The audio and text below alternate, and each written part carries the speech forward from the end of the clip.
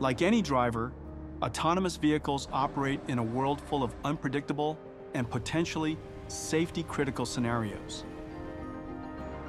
NVIDIA Drive, built on the Halos safety system, lets developers build safe autonomous vehicles with diverse software stacks and sensors and redundant computers.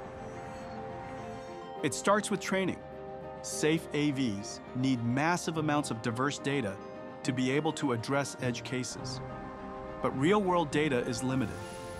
Developers use NVIDIA Omniverse and Cosmos to reconstruct the real world and generate realistic synthetic training data to bring diversity to the AV model. The model can perceive and reason about its environment, predict future outcomes, and generate a motion plan. And for decision-making diversity, an independent classical stack runs in parallel.